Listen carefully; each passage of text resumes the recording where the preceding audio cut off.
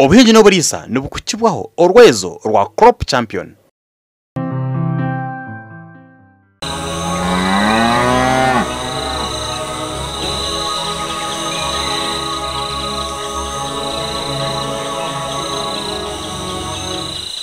ninkwakira omu poroguramu y'obuhingi n'oburiisa omuheereza ndi ivan tsime. Erizooba omuhurro yitu ey'omuhingi n'omuriisa w'omutaano naatayayira mwesigye patrick pade orikushangwa omu kyaro kya kabanyonyi kafunjo buhara omu disitulikiti ya kabare bitu nyenda kukumanyisa ngu twine crop champion. Waaba ori omuhingi kandi orikwenda kutunga amagoba mingi omu bihingwa byawe koresa crop champion. Hati mwesigye pade faamu ye naagyeta mwesigye agro business training center. Aha faamu egi aineho amatungo g'emiringo mingi munonga. Nikyo kirikugikora agro business training center. Nk'oku arikutushobora amazina ganje nibanyeta mwesigye patrick pade kandi ninkorera na district ya kabare. Nk'omuweezi wa dho ow'ebyamagara a district. Konka ekyamaani munonga ndi faama ndi faama wa kabanyonyi ahi turi egi ni kabanyonyi village omuruka gwa, gwa kafunjo egombora ya buhara. Nimwe faamu uh, faamu egi nibagyeta mwesigye kampani yangye ni mwesigye health care agro business center. Ninga twahika aha faamu niyo turi kweta mwesigye agro business training center. Egi faamu tizana agro business farm eh, nitutungiraho ebintu bingi nitunga ebyenyanja nkoku muri kureeba enyuma yangye aha nitutungiraho senkoko nitutungiraho enkoko zi- ziri free range kandi ekyamaani munonga nitutungiraho empunu omu bwingi pig commercial farming inga eturikweta sente. Egi faamu egi nitutungiraho ente nitutungiraho ente za zero grazing nitutungiraho entaama za zero grazing hamwe n'embuzi. Kandi byona ebi nitubirisiza aha kurugira emyasi ebitwine. Kandi twenda kuriisa nituriisa aha tweyero aha kugira ngu tube abahingi abarungi so egi niyo faamu yangye. Eh, kandi ebyenyanja noreeba ninkora ebyenyanja. Ebyenyanja nyine pondizi itaano. Ezo pondizi itaano eyokubanza erimu catfish erimu erimu mercap na tarapia eya kabiri erimu catfish which amachuwa eya kashatu erimu mercap erimu tarapia eya kane erimu catfish eya gatanu erimu mercap kandi ezo zoona ezo ne- nebyenyanja bimwe ebindi kutungira aha kandi ebindi kuguza omu katare kitu ka kabare kandi ningumizamu ndi omuhingi nimpinga ebinyaasi variety of grass kandi mpinga orutookye mpinga ebihimbo mpinga n'emondi ezokurya kamwe n'ebikuguza mburize pade ahabwa enki yakunzire kuriisa ebintu bingi kandi oku nikwe angarukiremu. Agro business farm ekirikumanyisa nikimanyisa ngu ni efarm erimu ebintu bingi kandi erimu business. Kimanyisa ngu naaba ntungire enkoko erizooba nguza nkoko haho nyenkyakare nguza mbaata haho nyenkyakare hiija orikwenda senkoko nabwe ngimuguza ahakuba abantu abarikuja aha famu aha nibaine preference zitarashwana hariho orenda kurya nkoko kuga kurya mbaata ninga aha kyenyanja ninga arikwenda amate ninga arikwenda embuzi mbwenu nyowe nkakunda kutunga ebintu bingi kandi bingi ebi nibimpa sente okurugi buri izooba ahakuba na- tinkaguza ekintu kimwe ente zaba zitiine katare nyowe ninza kuba ninguza embuzi embuzi iyo etiine katare ninguza aha kyenyanja. Ekyenyanja kyaba kitiine katare ninguza aha nkoko. Enkoko yatiine katare ninguza aha bitookye kandi ekintu eki kikakikopa aha purezidenti witu w'ihanga purezidenti kaguta museveni obu yatugira ngu tukore eyibukwata foheka modo. So nkaba ninkora omu irwariro natandika kubika akasente kanje nakihamu nagura itaka mpora mpora mpora mpora. Mazire emyaka mingi ndakora kunamaze natandika foheka modo eyo foheka modo nyineho buri kimwe kyona eki nyineho vakedo hasi na zo nzihingira ahaseera aho. Nyineho eh, nimpinga y'ebihimbo ebyo byona n'ebindi kukozesa kugira ngu baase kunyamba omu ntaasa yangye konka shipade okusya ebintu ebi byona okatandika ota nkatandika omwaka wa gw'enkumi ibiri nikumi na munana nkatandika egi idea nkagiha hari my late father canon kare between amasolete akaba ayine itaka half aneka hiya yabera heritage from his father so yagimpa nanye nayonjeho ndigura kunaguzire na- nagira idea yokutunga embuzi kwakuruga kanye kandi ntunga embuzi ziri roko. So kunabire ngaho nagira idea yokutunga emp- emp- entaama nagira idea eyokukora agro business. Kandi oku natandikire tindatandikire byona mbyine nkatandikana n'akantu kakye ekyamani munonga eki natandikire omu gefaamu omu tawuni omu ninga kabare niba- nibamangu ndi omushaho. Nyine kilinika kuba nkatandikana ndatunga entaama entaama ku nazitungire nayongeraho ki? Ebyenyanja. Ku nayongera ebyenyanja nayongeraho orutoki akuba nyine manyuwa ku nayongera orutoki nagira ah owakutunga ente shi? Natunga ente. Oki? Ku nakutunga empunu shi? Natunga empunu. Tahati mbwenu kanza omu nki bakweta ki? Enkoko. Ninga enyonyi. Mbwenu ninkunda enyonyi munonga nikyo wareeba nyine variety all birds.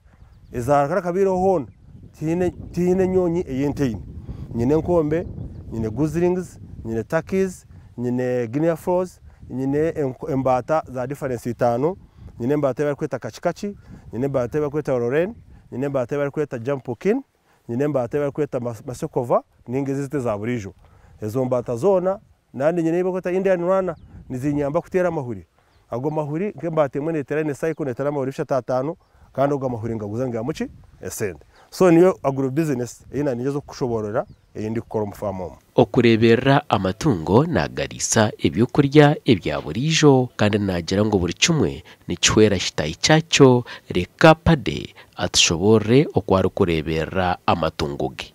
Ah, ebintu ebi eh, nimbiriisa roko rokare natandikana n'empunu empunu ntuziriisa cacu ningura cacu ntamu omwonyo ntamu n'ebindi birungo ziri ebyo. Naye n'embuzi zo ninziriisa ebinyaasi nimbitema kuko wareeba mbizigaburira abaana baziriisa. Ebyenyanja nimbiriisa ebi- ebinyaasi nka tarapiya kandi ebyasigara mbiriisa ebirikweta ngu crumbles ninga ebyokurya ebi ebitukurikira nkahe omunda. Kandi ebyo byona nitubigaburira enyamiishwa zaitu. Rero n'ente ninziriisa ebinyaasi kandi nzihereza amaizi. Kandi ebyo byona nitukora recycle. Itwe enyamiishwa ezi nizituha amanyuwa nintandikana n'ama- n'amaizi g'enkoko amaizi g'enkoko nitugata omu gyenyanja aga wakame nitugata omu gyenyanja kugira ngu tutunge bibe bibe fertilized byaba fertilized ebyenyanja birya obukoko. Eh, enkoko empunu nituziriisa cacu amazi ga- g'empunu n'ebindi nitwihamu manyuwa ei turikurebereza ki? Orutookye. Twahika aha nte ente nitugihamu manyuwa amashe amashe gaayo nitugajwangana na cacu tugariisa embaata twatema ekitookye ekituba nitukigaburira embuzi ninga tukigaburira ente.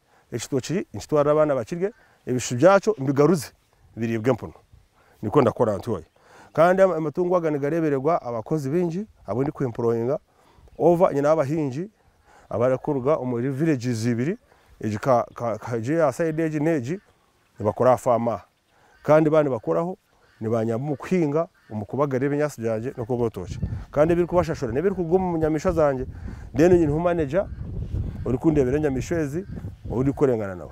Then nyiniho n'abandi bakozi abaratuura nk'ente ziine omuriisa empunu ziine omuriisa eh, o- ow'empunu ow'ente naariisa embaata ow'embuzi ariisa wakame kandi owe- eh, owa- owa owa hanu ori kuriisa obuzi obuto ariisa ebyenyanja so nimba baransingaso kugira ngu byona aha muheru.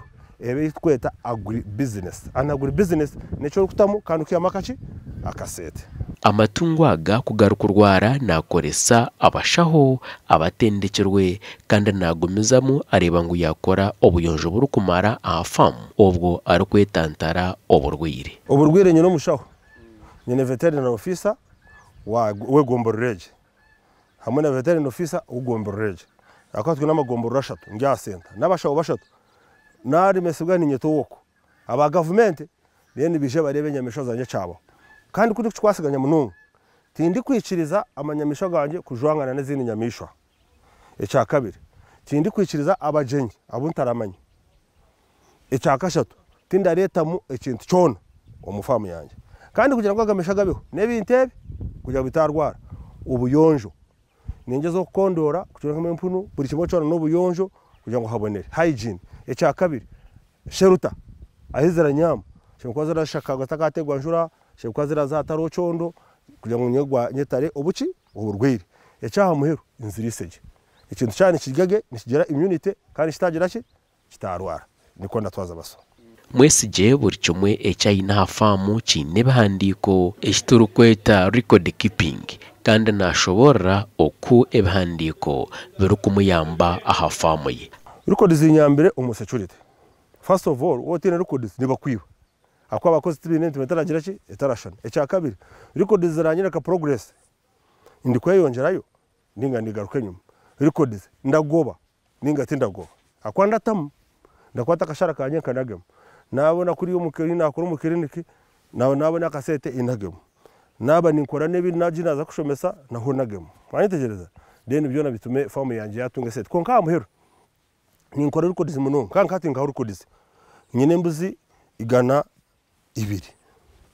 Ezi nyine rizo n'ubuto bwona mubariyemo nyine entama nkaga n'ibiri nyine ente mukaga. Ezi amene zo ezi zo nezamate kusha nabara n'ibindi n'empunu empunu ni nyingi n'ibindi n'ibindi n'ibindi byona ndanye ni records kandi nyine bitabo byabyo kandi umushaho wanje nantayira buri kwezi. Oba zirwire oba tizirwire. Ubwo umushaho nataka kuntayira mu famu kandi twine n'abandi aba district. Twine exceptional workers nko webyenyanja awakarisha na warija kureka ikintu abagambira kandi ngi umwibice umwibici wenji wenjoki nyine nenjoki nyine hapirare ejo hapirare ninjirebereye n'ebihumi igana biri ya saideji ahanyimaho akwatinda tinka bitafamu hii akuba nyine hagandi matungo so nkarondo kindi kibera cyanjye nazitama na zo nizikoraje kandi na zo ni nyamu bwoshe so ejo hapirare na yo iri part of my project. Aha bidiba by'ibyenyanja akombekaho hot oven. Kwari kumara kutega ibyenyanja nibabyokeza aha famu ninga cyete smoking. Ekiri kumanyisa ngu naguza ibyenyanja ebismokingire hamwe n'ebiro fresh. Nyine value addition ibiri. Eyo kubanza nyine value addition ya fishing. Fishing egi ni fishing. Tune tukweta ngo ni kerin a hot oven a hot oven. Ejo kerin nitubijaburamu tubibage tubyoze tusorutinge twanike twamara kwanika tuteka mu oven tukore tukweta smoking. Ejo smoking twamara smokinga iramara hakire. Mbitwara mu market. Nabwo ntakabismokingire ni abantu babishanga afamu nibabetogwire bari kugira ngo twe twe twe twe. Rero bikushaga mbitwara mu tawuni mbiguze.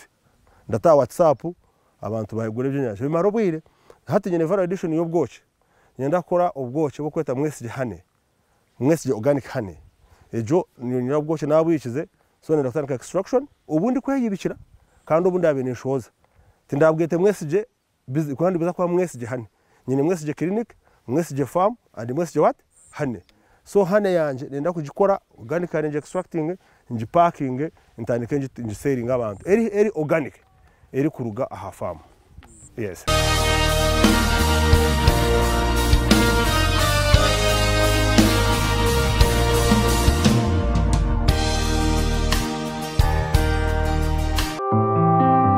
Obuhingi n'oburiisa nibukukibwaho orwezo rwa crop champion. Obuhingi n'oburiisa nibukukibwaho orwezo rwa crop champion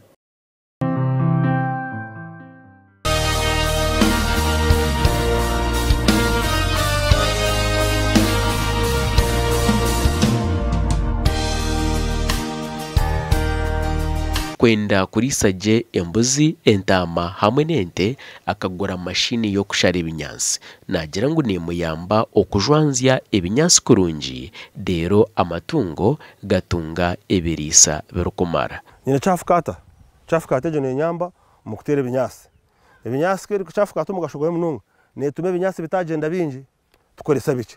Emibe eshatu wanu ogitemesa omuhoro tizikagiga yoona.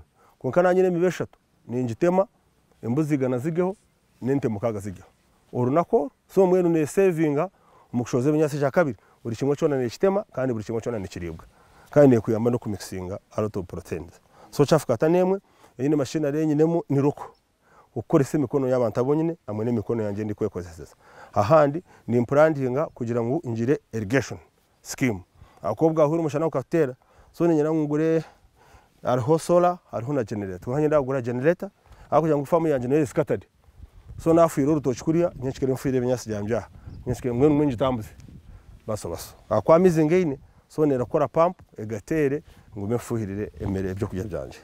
Kugira ngo ente zanjye zibone icyo kurya n'embuzi n'empunu byona yes. Okurwanisa oburwire buri muntu weena yaza kutaha omu faamu egi narubata omu mubazi ogurikwita obukooko.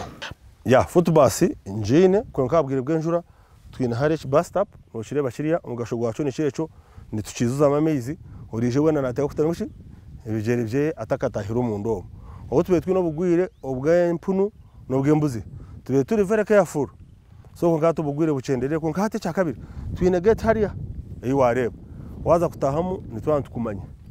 Abaana ba famu bija nibakaba bajwire buti zibakwajwire baine kuza gukora emirimo yabo kandi buti zabo nibazibika aha. Then baza omu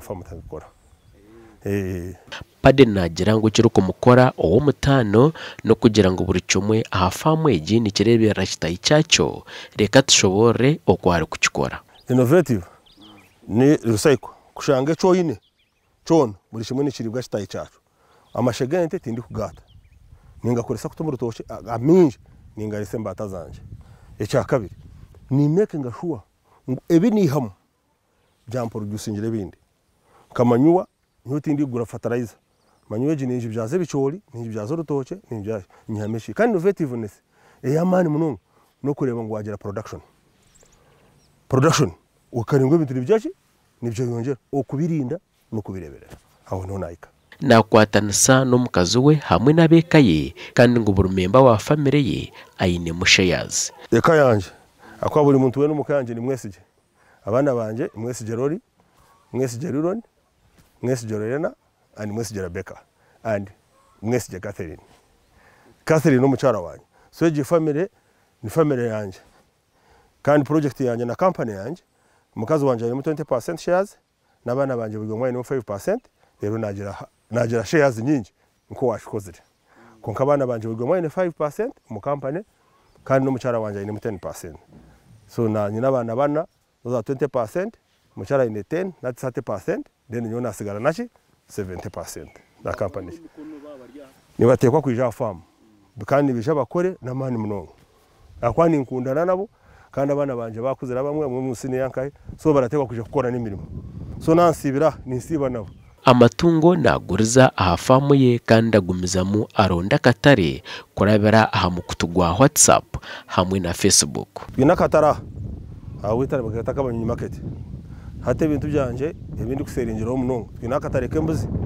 Tinda- tinda- tindatambura ndazara akatare mbagye nti nyine embuzi imwe irauka abashubuzi barija bemerere hariya. Rero twiyemeze kuguza tuzibatwarire nkahe hariya. Batuhe sente bagye empunu. Empunu nyine kampani ninsapurayinga embuzi ninsapurayinga empunu kandi ninsapurayingira omu bwingi so mwe nkahati nyine kusapurayinga embuzi makumi atano kandi wazireba nzinaha so nyina kuba nibenda bowa yakuba nibenda enzeire namwe nuka ba compassion nibenda empunu hamwe n'embuzi so kyamesa wako nakatare ekita akatare akatare ninkakorera whatsapp. Ninga abajanye bantayira nibija bagura ebintu byanje. Konka ebintu timbyine akwa akatare nikaki nikahangu mwene akatare tinkakabasa nyenka nico ndi kugira ntabakubasa kuhinga nkanye ninga okutunga banjoyininge tugire ebintu bingi tugurize hamwe. Abantu abamwetoreire abayambere ari kubahereza maniwa hamwe no kubahereza amatungo. Kandi akagumizamu yayombekera abataka emiganwa ebiri y'amaizi ubwo hati abataka ni ho bari kutaha amaizi efamu egi nimbagobesa omu manyuwa manyuwa tindaje baguza akuba nyine manyuwa nyingi. Twaza kuhinga nimbeta abarikuba nibenda kukira munonga abarikora aha famu aha mbahe manyuwa baze kuhingisa. Ekyakabiri ingabire empunu ebyana by'empunu. Omu maka ikumi n'abiri aganye togure famu aga ekeegi ngihire empunu ekeegi nagiha empunu ekeegi nagiha empunu ekeegi nagiha empunu making sure ngu weena onye torwire famu yanje. Weena atungire ki empunu. Ekyakabiri nkabakorera emigano ogu mugano nkagukora naguteeka omu itaka ryanje nakora n'ogundi hariya ogwo guriya nigugabira village eriya ogu niguhereza village eyi ndikuzarwamu abantu nibataha amaizi agaboniire kandi marungi. So village egi neteka kusheta nkagiha n'omuhanda omu famu yanje accessing amaizi ekyo nekintu kimwe ekindi kuhereza community. Ekyakabiri community egi ningihereza omu kugiyamba omu kugyegyesa oku twakubasa kurunda kurinda ebyobuhangwa hamwe notwakubasa kuri- kurenga burika in fact nyineho indi project indi kweta ngu ni rabbit production. Buri muntu wene wakame. Nkakora akatare ka wakame omu tawuni kabare so nyo nkabegyesa kutunga wakame. Nambwe nkanyekyakare nyenda kuproducinga wakame makumi ashatu nambwe nata abahingi banje bona bazindete. Nanye natera omu tawuni ntazaneho makumi mwene aba- akatare ka wakame. Nkagambira nti "Mu- mutunge wakame. Rero nyo mbarondera kaki akatare. So nibazitunga rero baziguriza famu yanje. Nicyo ndikora munonga kandi woine ekitungu urikwenda kukiguza. Nabwe ninkuyamba kukurondera akaji akatare kacu faamu ye neerabwamu omugyera gw'amaizi kandi akombeka n'emigano ngu amaizi aha faamu egi tikizibu bimwe ebi arikwenda kukora omu bwire bw'omu maisho nayenda ari sente ashohoze amate mingi atandike akore yogati. Agumizemu ashohoze enyama y'empunu otiireho n'okushohoza ebyenyanja bingi nyina ngu ntunge ente mukaaga ente mukaaga ente ikumi zoona ziri kuriira aha. Ezo ente ikumi zigeza amate so nyetaaga ente ina ez'amate. Ente ezinyineho ndesire hiina oredi zo ziriho z'amate so nyende ezindi ina future plan egira ngu nkore dayare improducing 100 liters per day. Ezo nizo plan yange ni cyo mpingire ebinyaasi bingi kugira ngu ndi sente mbone ritiigana z'amate ezindabe ninshohoza buri izooba kandi kushohoza omu ntenkye zitakarenga ente munaana rero ago mate ngakora dayari aha baba batagamazire ngatwareka abantu mu tawuni ekyakabiri nira ngu ntandike producing idea yange yokuba yakabiri niyo kukora yogurt. Ninga kuyo production y'amate nkakoramo ebindi bintu. Ebindi kubaasa kwekorera into my farm. Ekyakashatu ninyira ngu ntandike producing empunu enyama. Nkore eyi bakweta pork, center. Nyowe eyi bakweta rufura. Ninga kubaga empunu nyowe nkazaguza ki enyama. Kandi ngite hano umanye ngu mutawuni hakurugayo emotoka ibiri zishange nyine empunu buri izooba kiro magana abiri buri izooba bazigure hano bagire mbaguze enyama ntabaguza ki empunu egyo niyo yakabiri eyakashatu mbe habo production w'ebyenyanja manye ngu buri sande. Nshuhera abantu ki ebyenyanja mbere nyetagamu wa fishing ponds. Kugira ngu nashoho muri izooba nyeshikare nshohe muri mbere every week mbe ninshohoza ki ebyenyanja ekyakashatu nguze embuzi waba noyenda embuzi muri kabare otategana umanye ngu waza wamwesigye farm noshangayo a good breed eyo wakubaasa kutwara okakoresa ekyakashatu nguze roko chicken. Waba noyenda enkoko yokurya nungi y'enkiga ikumi ikumi oshanga orazibona aha famu yange nikyekyo thats my future plan. Another future plan nokugikora ekaba training center. If you want to train your students obareeta aha ahakuba buri kimwe kyona kuba kigizire ki kiriho so nyenda kwombeka nyenda kukora ki kunakubibaasa ebyo omwaka gwa covid-19 ngu gukamuteganisa munonga ahabw'okuba ngu akabura katare. Omwaka ogwa covid. Gwa covid nkaba nyine empunu magana abiri cacu yabura ya- yaza haiguru empunu zoona zagira ki zimwe zikafa kandi tukaba tutama ebyokurya biri expensive kandi zitiine bwokugira ki? Okuzigura. Ogwo mwaka gukankomera munonga kandi gwangaruza enyuma kwonka gukanyegisaho munonga okuba innovative. Nibwo natandika embuzi ezakubaasa kubaho. Otazigurire ki? Byokurya so nimpiga abantu abampire twehare ebintu byoguma ntu- ntugure emere turi kubigaburira. Tugire ebyo e- ebi tukubaasa kwigurira. Ninga ebi twakubaasa kuriisa roko what roko food nk'embuzi nka wakame nk'ente hamwe n'enkoko pade nayenda abantu bejumbire omu kuhinga n'okuriisa baba nibenda kwetungura yebare ninkusiima ahabw'okuguma nooreeba porogaramu egi ninkumanyisa ngu waba ori omuhingi reeba ngu wakoresa ekijumisa kya crop champion. Ekijumisa eki nookishukyera aha mababi g'ebihingwa byawe deero ekihingwa kitunga ebiriisa ebirikuba nibibora omu itaka. Yekwate crop champion obe omuhingi w'omutaano. Omuheereza n'abandi ivan tsime. Kankwendeze ebirungi byonka tureebane orwakabiri orukwija bayibayi